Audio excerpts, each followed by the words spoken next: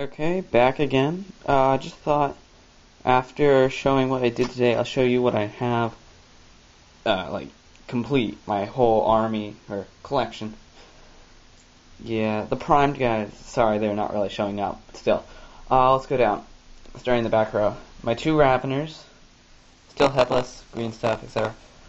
Uh, the Warriors, and I thought of the Biomorph, Flesh Hooks. Flesh Hooks. Gonna magnetize them. And on to my Broodlord and Genestealer retinue. Yeah. Uh, ten Termagants with like Devourers. No, not Devourers. Flesh Borers, sorry. I always get those confused. Hormagaunts with Adrenal Glands. Eight of them. Eight Spine Gaunts. Spine Fists eight Hormagaunts, the same as before.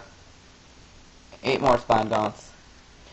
Just a bunch of Spore Mines. Not a lot, but still.